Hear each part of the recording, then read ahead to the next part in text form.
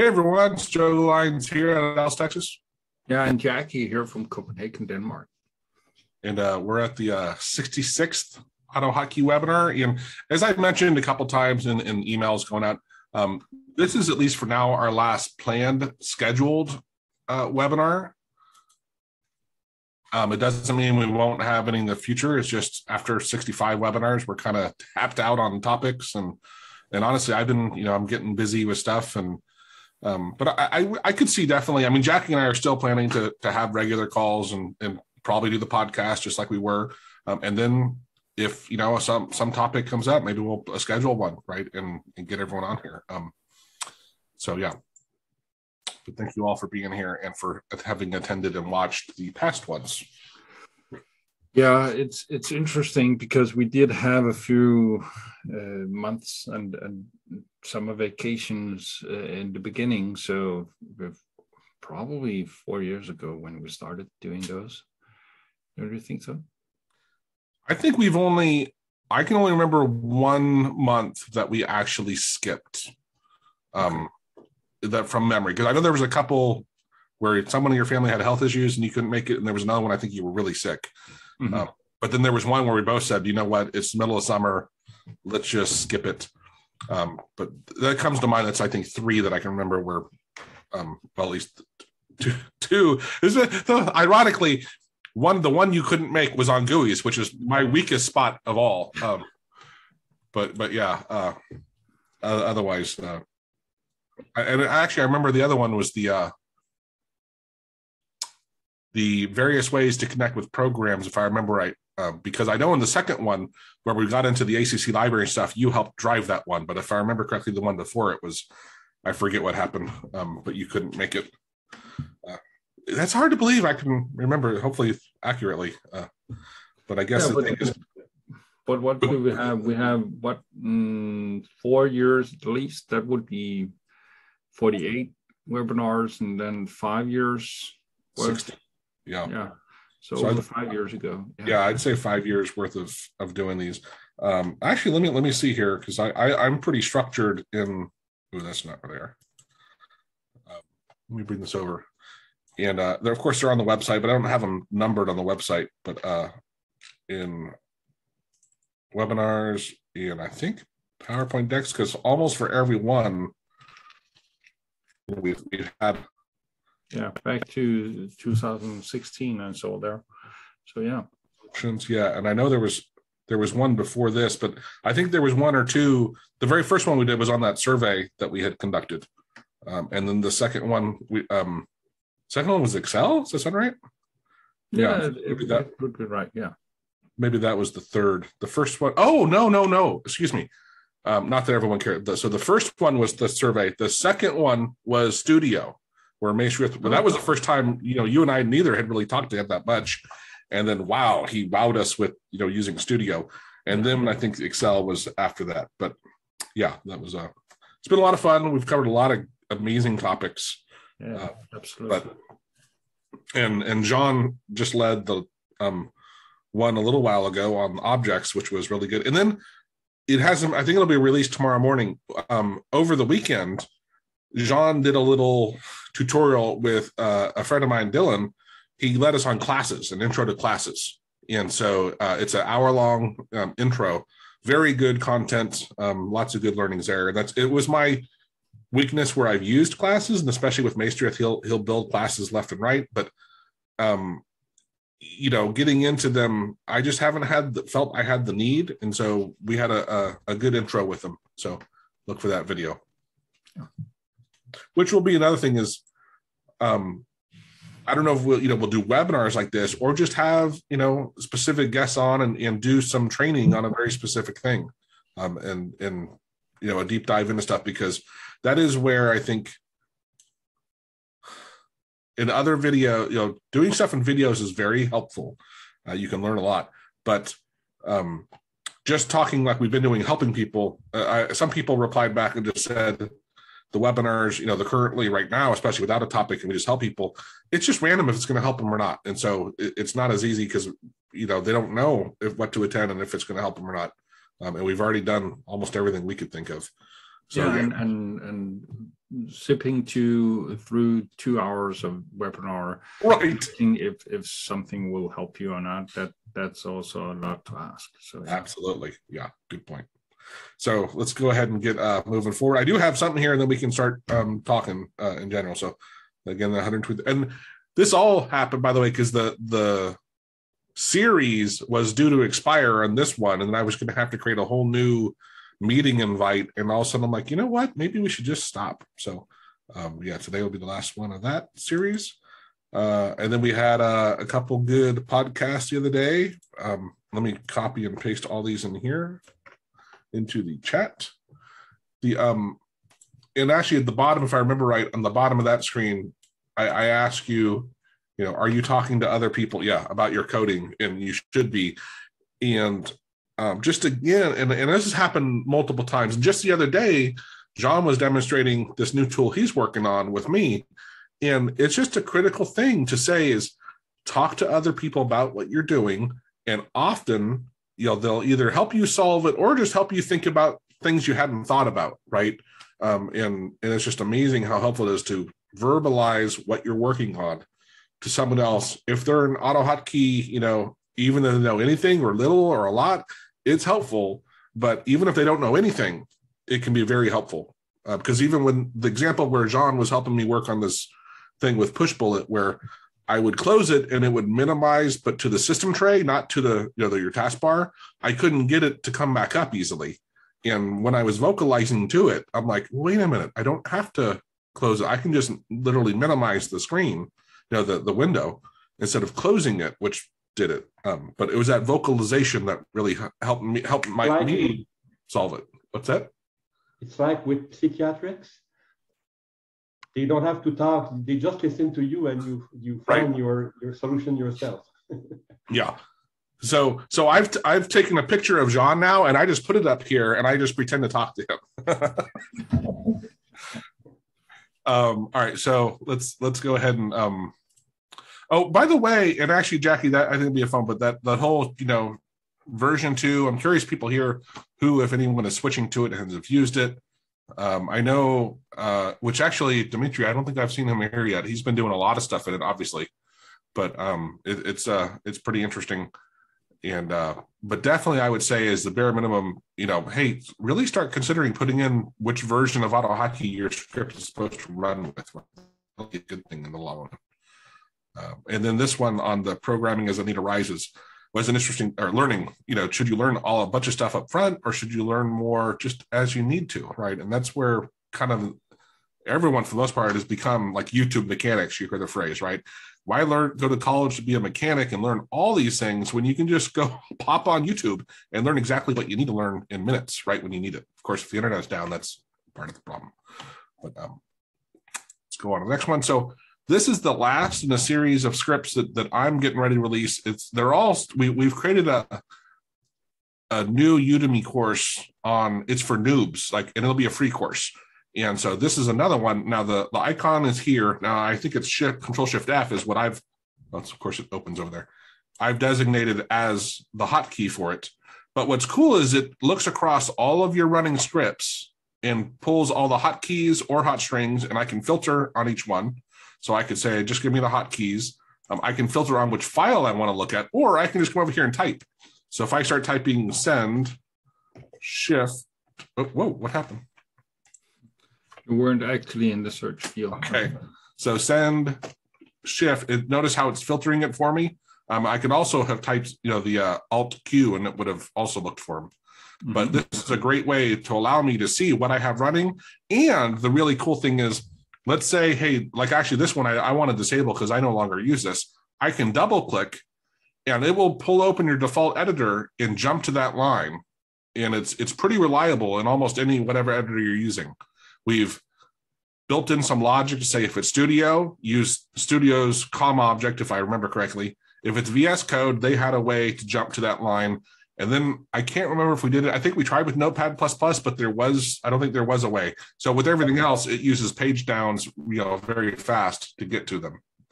But yeah, it's uh I think both for for noobs and for very very experienced, you know, AutoHotkey people, it'll be really helpful because I have a lot of hotkeys and hot strings, and it's really hard to remember what hotkeys, you know, and hot strings you have. Um, you can also come in here preferences, and here's where you would change that hotkey to bring it up, to pull it up.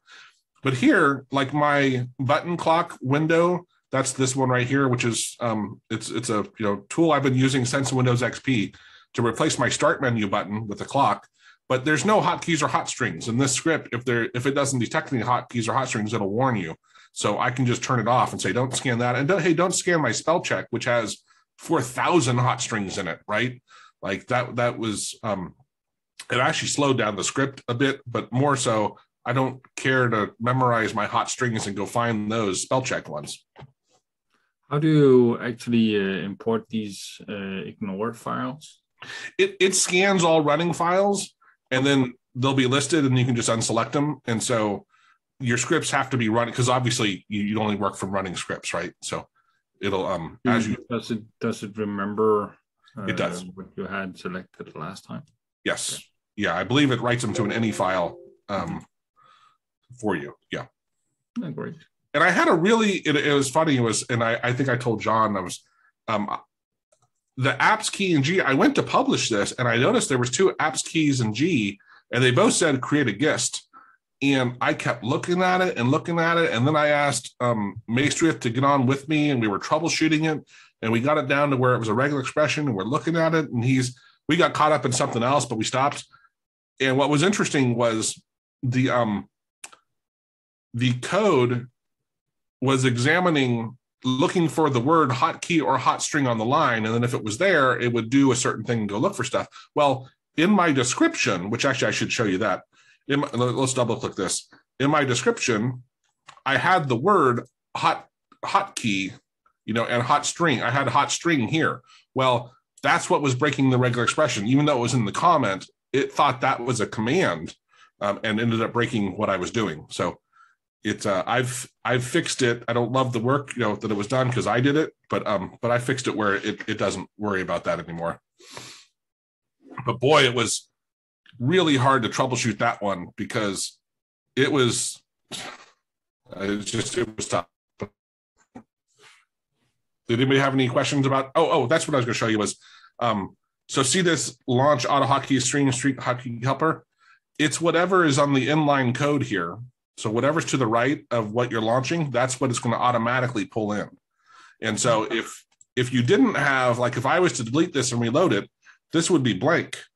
Um, and what was really cool about this tool was I had a couple that were blank and I could double click it and it popped it right open to there. I added my comment, reloaded it, and then they had a label there. Hmm. But yeah, I I, I, view this as like a really helpful tool for people who have a lot of them because some people start off, they go, This is amazing. I'm going to start adding, and they add a bunch of either hot keys or hot strings, and then they can't remember what their triggers are. And, and then they get very frustrated, and then they just stop using AutoHotkey entirely. Um, and, and so this is to hopefully negate some of that. I think, well, let me check one thing here. When Let's do with no. Nope. Okay. I thought we built a. We start. We started working on like a fuzzy match, but I guess it's not in this one. It's in something else. So, did anybody have any? uh Sorry for the big blah blah blah. Uh, but does anyone have anything they wanted to work on, or any questions, or anything they want help with? I have an, an, issue that has been reported from users of Quick Access Pop-up, but it's not related specifically to, to Quick Access Pop-up, but you know, Quick Access Pop-up is built with uh, AutoHotkey. Sure. And some users re report that when hotkeys are enabled in, in Quick Access Pop-up, in their browsers, uh, some letters will be uh, it will inject some letters with accents in them. So I can show you an example here. And uh, one of these users did a, a good analysis of this, comparing with various Windows version to see where the issue was happening. So the issue, you can see it here, maybe I'll make it larger. You see you have characters here that are that should not be there, according to this user. I don't know from what language he is, but he's not using a, a English keyboard, I think. Mm-hmm. Yeah, this language here maybe is German.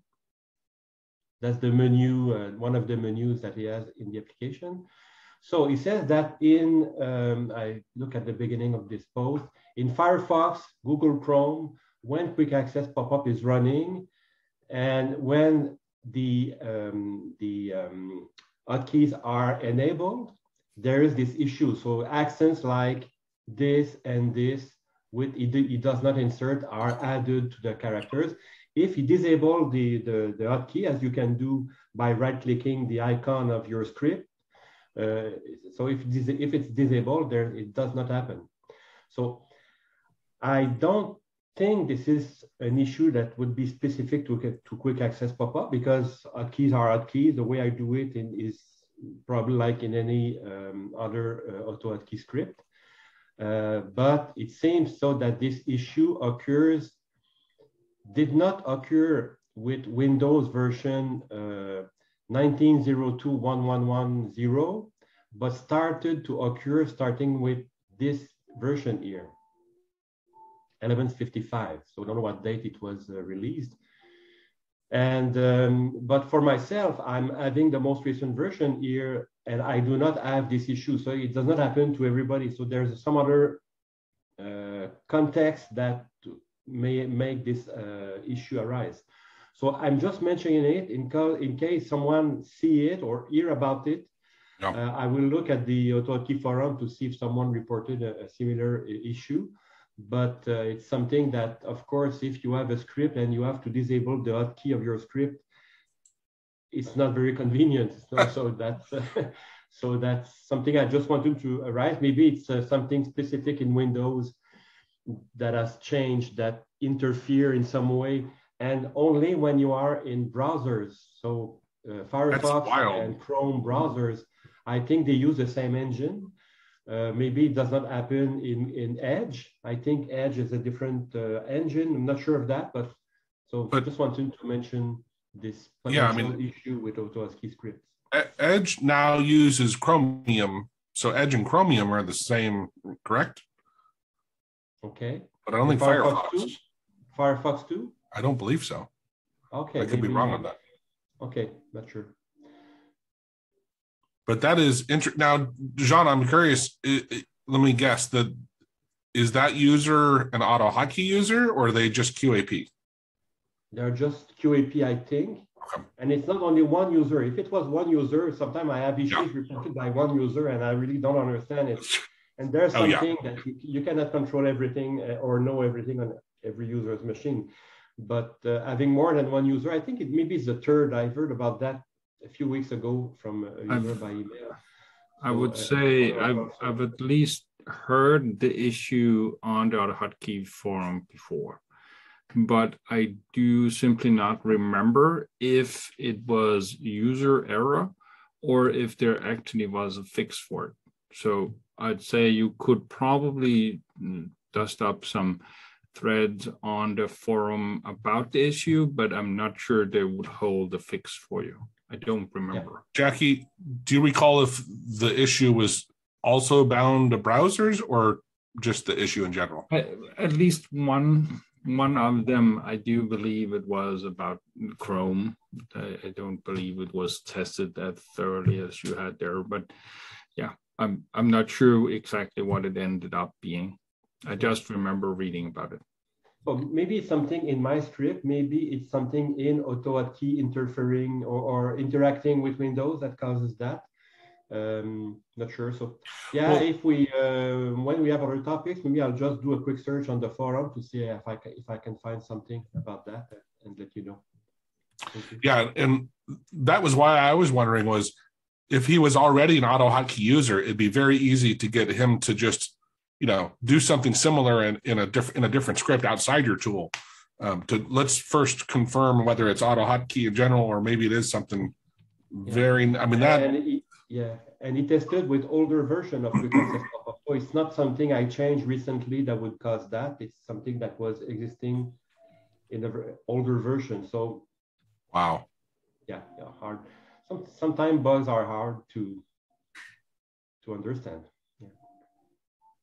Well, back to your point earlier, I get I get you know com- people commenting on stuff on my YouTube channel, and uh, like you said, like I, I've learned to take it with a grain of salt because the vast majority of the time it's user error in doing what they're doing and just they don't you know they did something wrong and or their configuration is specific because they have a, an antivirus or a malware protection software that will interfere. It's also something like that. Does anyone else have anything they're working on? That's a really interesting problem, Jean. I wouldn't begin to think of how to figure out what's going on with it.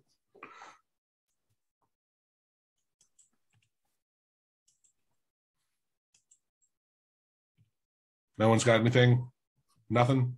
Nothing? I might have something for you here. Let me see.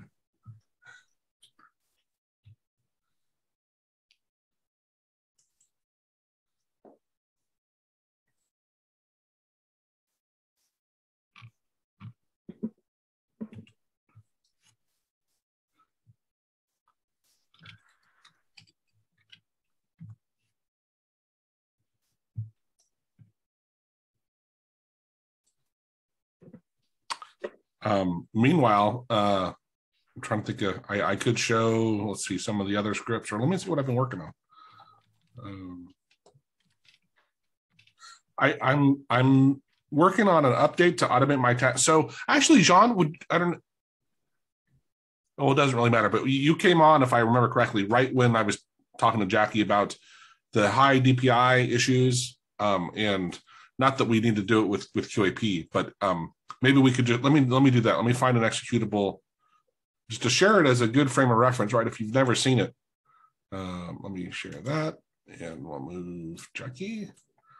Open folder. Should have something in here that is an executable. Yeah. So here you go to right click it. So if you're having problems, if someone is using an high definition monitor, you can go to properties and then compatibility. And down here, change high DPI and check this. And I turned on the system enhanced, um, Jean. I don't know if you've done any more testing with it. It, it really seemed very crisp. What was really fascinating was with automate my task, and that's what I was going to demonstrate. Was um, I, am working on an update to it. Is uh, for some reason on that high definition monitor, it lost the bottom like quarter inch of the screen, however you want to, however many pixels that is. Um, but that's how you do it. You'd apply it and then run it, right? So um, I'm going to change that because I'm going to forget I have that on it. Of course, this doesn't have a GUI, so it's, it's irrelevant. But that's what you would do to try to disable the high DPI um, for that program. Is what was weird? Something you think you could set as a parameter in uh, the compiler? I was yeah, I was wondering. I was wondering actually if it was something as a parameter we could pass to it to uh to do that as well. Um, I I didn't try it, but there's a registry key that you can write so that Windows will know that for this executable, uh, what compatibility setting you want to use. I haven't worked with that much yet. So this is if you've seen automate my task. Um, on my computer, some items looked really terrible. The text. And now that actually I want to uh, maybe this one I was to say, but I don't think so. Uh, but when we we come in and, and anyway on a high DPI monitor, this looks crazy. These buttons all get squished, and so that's what we're trying to avoid. The problem is, which is what John and I were talking about. It's like we don't have high DPI monitors, so testing that is really problematic. Um, so thankfully, I think Dell helped a little bit with Jean on, on one on QAP, and then Dylan, um, he's not here right now, but he he has a high definition monitor, so he was testing it on his, and uh, and sure enough, this bottom part, even though we applied that fix that we mentioned, this part right in here, this didn't show up. It it was scrunched off the the GUI. Uh, it was really weird. So I don't know. Yeah, you know, it doesn't quite fix. yeah, what's happening is when you use scaling, because these monitors are so large, uh, the content is so small, so you are scaling to 125% or 150% just to make things uh, larger on your screen. And but in in a window uh, of a script, of AutoHotkey script, GUI's element will not necessarily be all scaled. Uh, and for example, the, the images will not be scaled, but the buttons will be scaled. And if you have some calculation being done to position your element on your GUI relatively to images or relatively to some information about the width and the height of your GUI and of your uh, controls on the GUI, not everything is reported correctly. So it will make things messy uh, in your GUI easily if you do a lot of positioning of element on your on your GUI. So that's uh, yeah, that's an issue, and it's mostly fixed when you enable the settings that Joe showed you using System Enhance, except for the images that will not be scaled; they will remain small, but uh, the positioning of things will be will be correct. Um, yeah. So I will have to buy a high definition monitor to debug that or to, to uh, enhance uh, this, this in, my apps, um, but I'm not there yet. Doesn't uh, AutoHotkey have a setting? Like, I don't remember, DPI scale or something? On GUIs? No, I, I just think it's a setting when you create a GUI yeah, you can disable I, it. Yeah. I haven't seen oh, okay. it. There's a there's a variable that will tell you what what is the current DPI, and okay. if there is scaling active on the monitor is running, the active DPI instead of 96 will be uh, one I don't know one and a half or it will be higher. Okay, so so but if you used or if you turned off the DPI scaling you would get other issues or it would look too I small? I don't think you would have issues, but the GUI would be so small that users do not want to use small GUIs. Okay, because they're using 4K monitors and have used yeah, so the DPI is, setting to make it larger instead of changing your resolution. Yeah. Okay, get that. Fair enough. But maybe we can test it on regular monitor using scaling and see what is the effect. So you have an example there, Joe, of what's going wrong. yeah, yeah, exactly. Yeah. So you scale at so, 125, 150? Uh, no, I think that was the highest, 175, if I remember right. Okay. Yeah. Okay. Yeah. But you just so they got the idea of what, you know, what problems come up when you're dealing with GUIs with AutoHotkey. Yeah. So the, for example, the radio button will be um, higher than their original size, but the positioning is still hard coded to taking into account that the height would be, let's say 15 pixels, but now it's uh, it's uh, 25 pixel, for example, so they overlap. Mm-hmm. And and this is what in, a, in that video I did with Hellbent, his approach of creating buttons with the GDI library negates all this kind of problem.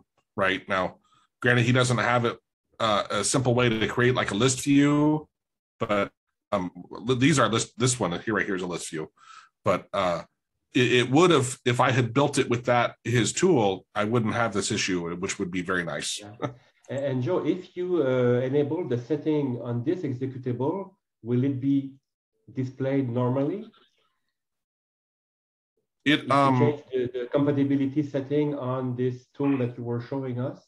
Yeah, no, and it, that's what I was saying is it. Um, hold on, let me uh, let me figure out how I can navigate. Is it, a, is it a, an AHK file or a, or a oh yeah. Well, I I gotta I'll just navigate to the folder and compile. But it's not it's not compiled. No, but I'll compile it. Okay.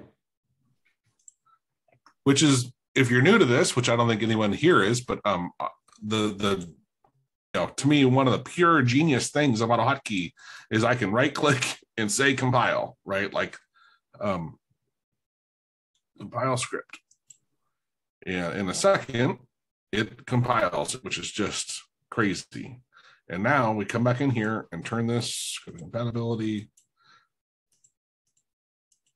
to okay and apply. Okay. Now let's come back into my system settings Let's make this, let's do 150 just for fun. And launch this guy. That actually looks pretty good. Uh, but on, oh, and I don't know what it just refreshed, I guess. Is that what you would say? Is it it it I don't know why it started off so small. But um but on Dylan's the high DB, DPI monitor, this bottom this thing did right in here didn't exist. Uh, and you can see that, that that's that's a function of that DPI.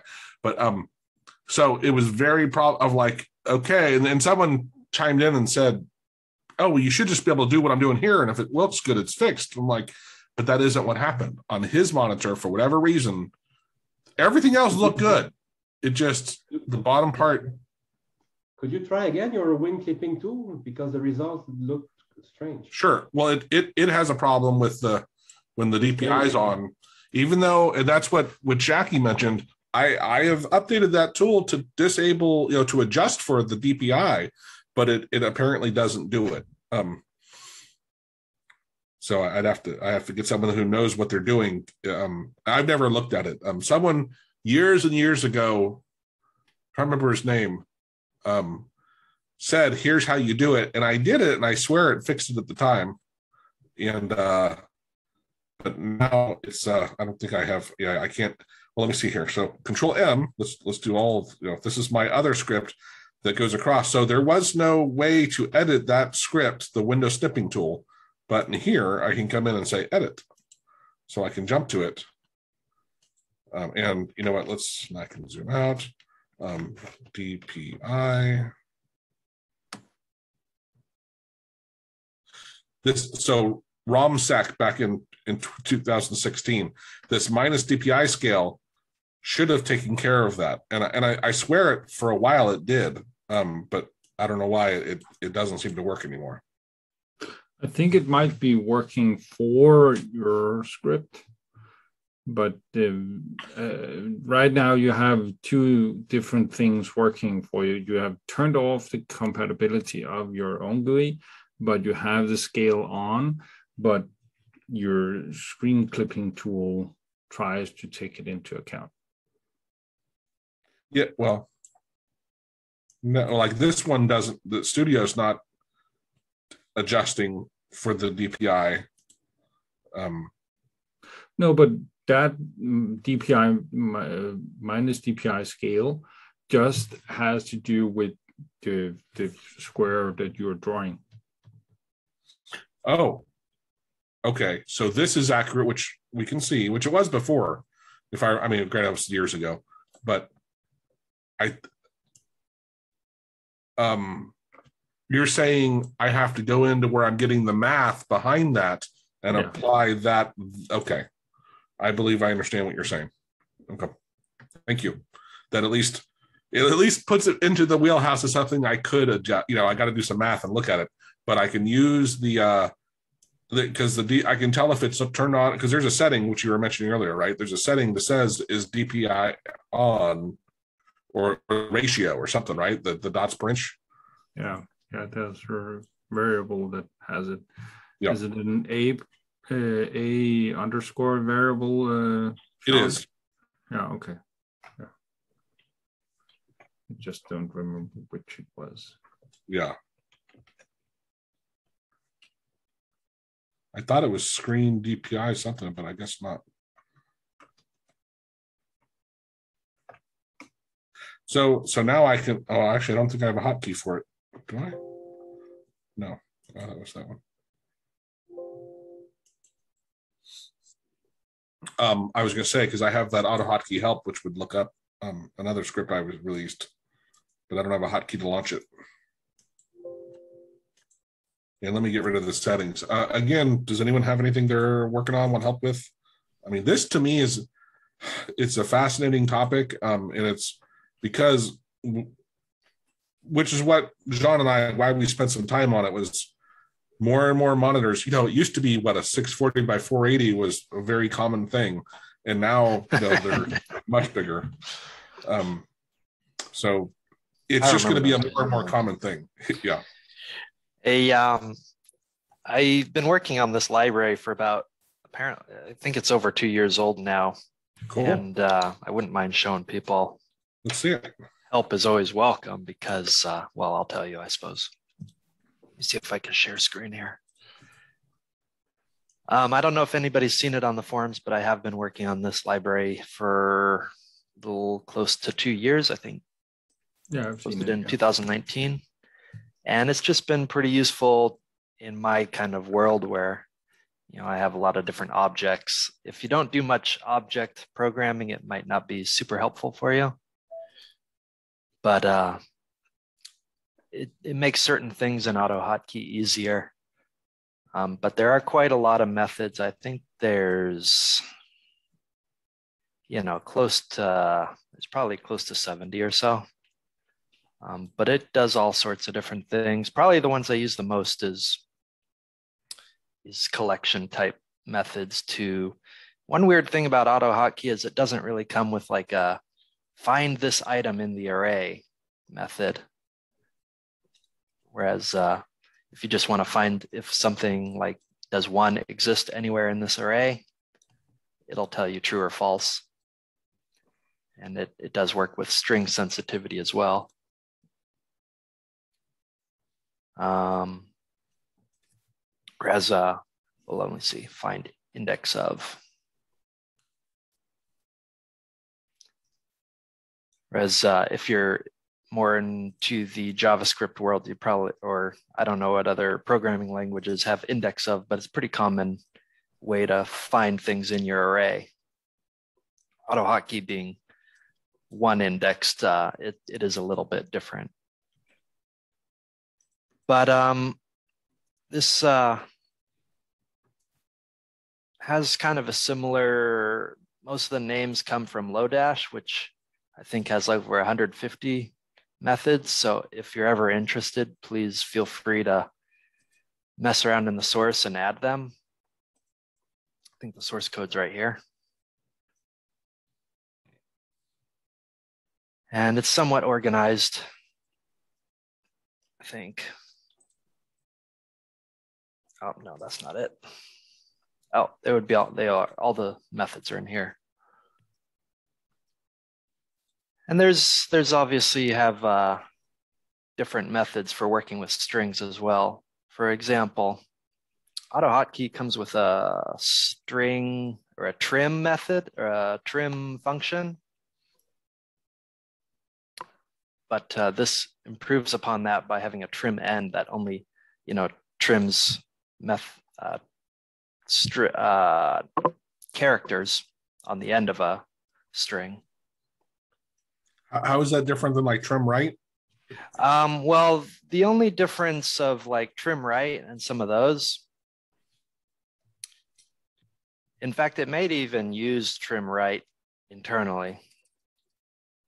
Is it called string trim right? The only difference is that the output var is, you know, treated more like a, one thing that's always an, causes a lot of like uh, kind of makes kind of makes a code a little disjointed as you first have to modify your string and then you can actually start doing something with it like message boxing it or whatever Yeah.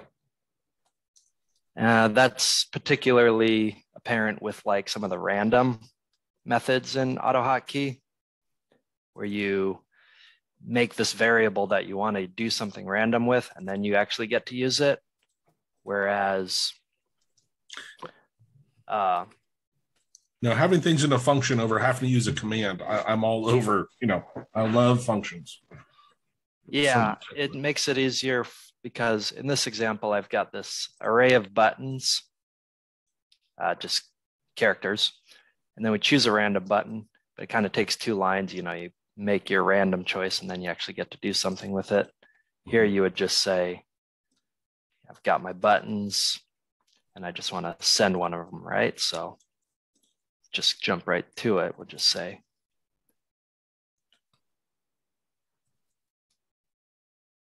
uh, sample being a, a method for choose choose some random one of these. And to me, that's a lot easier to think about than, oh, I made this random variable. Now remember to use it and remember to throw it away when we're done. I might go like that or something. have you ever played with Maestrith's boy? That's hard to say in a plural possessive um, message box function. Is it called Notify? No, that's a, a but that's actually he he Similar, does the I same, think. same approach in that in in his cl- well sorry above his class he creates a function using his class. Oh yes, Right. I've seen how he does that, and they Yeah, coincidentally have the same name. you will know, it, but it's purposely right uh, because it allows you to not have to. You know, here's my my main point is I think you get more people using this if they didn't have to use a class. Not So- really my. Okay. Uh, I I can't really concern myself with No worries. Hey, the don't worry. being I'm, the marketing and developing of it. yeah. So if someone Yeah. wants to, you know, market something, Yeah. uh, feel free. Uh, it is open source. Cool. Um, well, but let me just wrap up this example real quick here, which would be, uh, I guess, the the benefit of, let's just say, an input string. Whoops. Yeah, and it's great having. I'm trying to remember. There's there's a very well known text um, function, and the, the author starts with an H if I remember correctly, but I can't remember the name of the the text, um, the actual name of the the, the function. But it's uh it's super helpful, and and you said that a lot of auto hotkey doesn't have a lot of stuff built into it, which I think is smart, right? Because it shouldn't necessarily everything be there. I saw you had the slice, which I assume was named after like Python slice. Is that Uh, slice being an array slicing tool. Yeah, it works Yeah. exact same. yeah? And and I was always jealous when I was learning Python of like, oh man, I wish AutoHotkey had slice built into it because it's just so handy to to grab. yeah this so i tried to add a lot of things that is obviously missing from the auto hotkey world or you know you go have to download some function that you mem- have to memorize the name of so right. yeah um and then another if someone wants to would be cool is uh finding some way to there's a build script in here that you know packages uh, packages all of them up into uh a uh met class if someone wanted to just change that build script enough to that they're all their own function it would probably be quite challenging because some of them borrow from each other but uh, it would be one interesting project. But yeah, that's kind of what I wanted to share. Um, Cool. Thank you. It helps me a lot. I almost can't imagine playing with auto hotkey without it anymore. But uh, some people like to do it the old ways of just looping a lot. I think the first thing that it helped me with is not think about loops so much because now I can just jump to whatever item I want in the array. Which at the bare minimum, I would say is a good lesson for everyone to realize is we all have niches and things that we do a lot. Like for me, for a long time, web scraping was I did all, the time, and and so I wrote tools to make that easier. And it's it's one thing. Who was I? I was talking to someone about it, but like the whole, I think um Hellbent, the whole idea of creating tools to help write code, like it, it's really worth your time. And most people don't do it, but you really should do it. And like, and that's one of the big reasons what I use QAP for is to store my templates. And it helps me be much more productive programming because I don't have to go find, hey, I solved that once back somewhere. Where did I store that and go find it? It's at the tips of my fingers and it's organized in a, in a nice way. So kudos to you for creating your own tool that you, you know, has what you want in it. Do you have any kind of insights into how many people might be using it? Um, I do have the primary method that I use for getting because I live in the JavaScript world. NPM is a very natural choice for delivery. According to NPM, says 255 downloads a month, but I'm not exactly sure how realistic that is because you know bots and stuff can download off NPM as well. Still good. I think I did see a couple like one or two li- uh, projects on GitHub that list it as a dependency. So it does get out there. And that's always great. Well, and and so here, yeah, here's a good point of uh it- it's kind of ironic. We just said, well, hey, we're not doing any more scheduled uh, webinars, but but this might be one also when you say, hey, if, if you're interested, um, because because I also know from from my own experience and from talking to Jackie and Jean and other people, like uh, creating tools and actually Geek Dude, who I saw earlier. Um, I don't Yeah, see he, him. he logged on very early. Um, but like Geek Dude does an amazing amount of work that he doesn't even share, or when he does, he doesn't go about and make it. He's not vocal about it because to what you just said too is we don't have time, right, or bandwidth. But what you could do is come on like with a one-on-one, or maybe just me and Jackie, and talk through actually using as examples, you know, five or six of the things.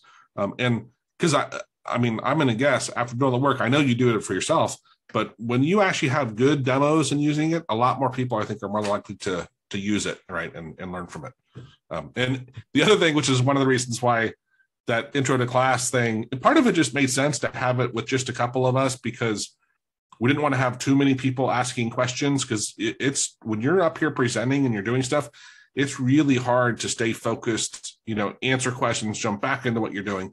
But we did it as just with, you know, three of us and the stress levels drop. You can have fun, you know, and, and we just edited a little bit to get rid of some stuff where it didn't make sense, but it's just, it's a lot more fun environment. So if you're interested, maybe we could do that on a, on a side thing. Sure. Uh, if you check my signature in uh, in the forms as well, there's, you know, I've been having fun writing little uh, classes mostly, but kind of just utilities that aren't aren't really standalone. It's just kind of like here's a cool thing you could build a whole project around.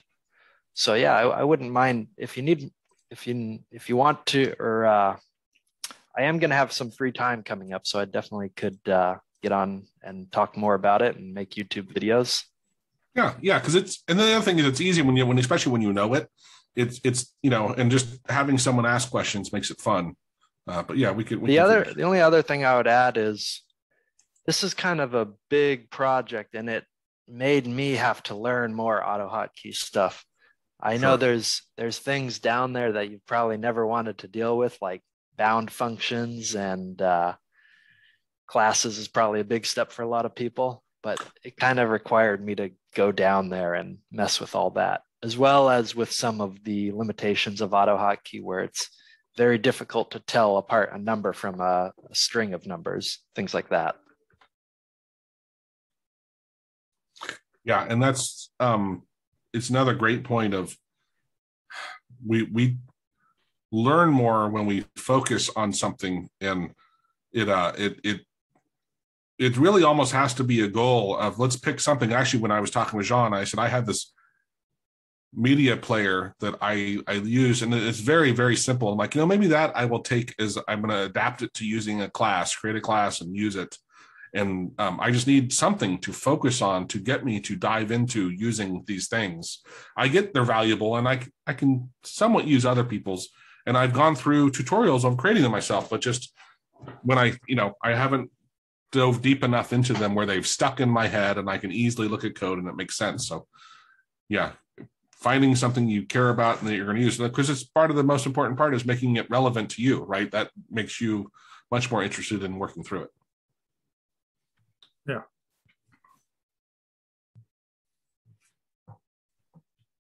And I do think in a lot of ways that AutoHotkey becomes a personal tool because we've heard from so many people that I have this script, I've made these functions, I've made all of these hot strings and whatnot. So it's hard to get um, one thing that fits all. That's of course right. Um, but yeah, getting something that mm, leans upon other well used things actually do make quite a lot of sense.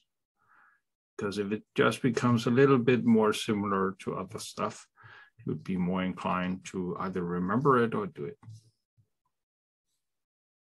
yeah yeah that's a, that's a good point jackie um Yeah, I have a somewhat similar project, just bringing over some of the JavaScript methods that AutoHotkeys Array doesn't deal with. Um, but most of that is a fork of someone else's work, so I don't want to steal any of their credit.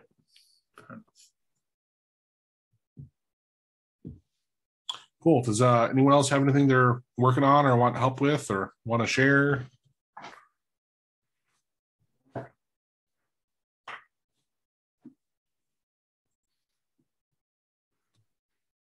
Doesn't seem like it. Which is fine. Yeah. There's no That's right. in that. No.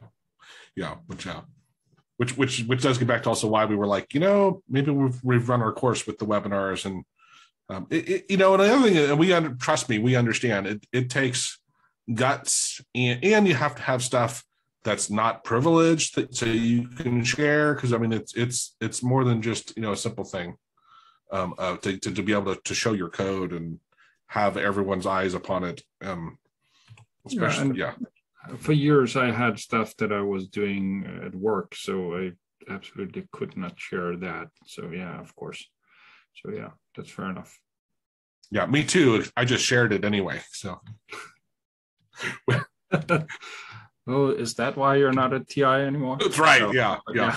They actually, when I was walking out, they they flagged me down and said, "Hey, you need to go take. We understand you have a YouTube channel and you have this, this, this. You need to take this down." I'm like, "That's been up there for years." And they're like, "We know, but it really shouldn't." I'm like, "There's nothing in there." I said, "Whatever, I'll take them down." You know, there there were a couple videos, but I'm like, "Sure, whatever." Um, but yeah, it, it is funny. I'm like, I "Yep." probably would have done is just make them private for a year or two, then put it back up.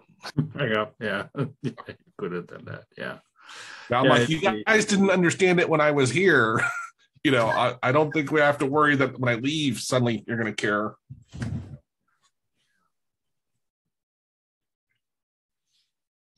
Um, cool. Well, unless someone has something else or, or wants to, to ask a question on just a topic in general, since we're here, we can. Uh, Maybe, uh, just, we could thank you for all these webinars that you've done, Joe and uh, Jackie. Uh, it's been really helpful to have these uh, occasion to share uh, the Yeah. issues or the findings that we have and all your script that you you show at the beginning of each of these webinars. So it was it was really a great uh, opportunity to learn about Autohotkey. Thank you for that to both of you. You bet. Yeah. And, and, you know, this is the other thing. And, and I, it was one of the things I mentioned when we just started was talking about your code to somebody else. And, you know, years ago, Jackie and I started talking kind of a random thing. He was helping answer some questions of mine on the forum. And it, it, it really helped me a lot, but it was also, it's been really fun. And Jackie and I just, we have similar interests in a lot of stuff, but you know, a similar approach. Like, but we've learned, I've learned a ton about Denmark and he's learned a lot about especially Texas, and that even though we're all gun nuts, we're not totally crazy. Um, but yeah, it's been a lot of fun doing this stuff, which is also why we're saying it's not the end of what we're doing. It's just, um, Yeah, and and we've really met quite a few number of people from the Autohotkey community, which really have opened their um, what broadened the horizon on on Yeah. who's actually using it and stuff like that. So it's been it's been great up until now, and I'm totally for, as you said, Joe, not because we're not open for doing more webinars or other content, but right now we'll we'll take a break on these. Yeah. Yeah. Um, to name a few just off the top of my head, right there, there was that one of the first ones we know, the second one was, Studio, where Maestrith just demonstrated using Studio, and it's really fun watching him or anybody for that matter that really knows what they're doing get into something, and it's just it's amazing. But then, what was his name?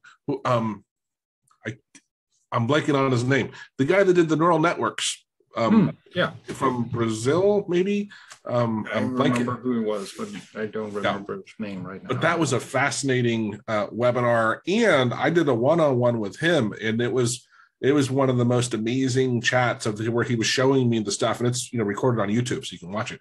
But of the yeah. stuff he implemented at work was just so cool, and and like you said earlier, Jackie, I think it's a really interesting point. Is like auto hotkey really can be a very it's so dynamic that it is Yo. personal in how we use it. Right, we we do very different things with it. yeah, Geo. I think he's Geo, thank you. Yes. Yeah. Yeah. yeah, it, it, it that was a great one, and I also was.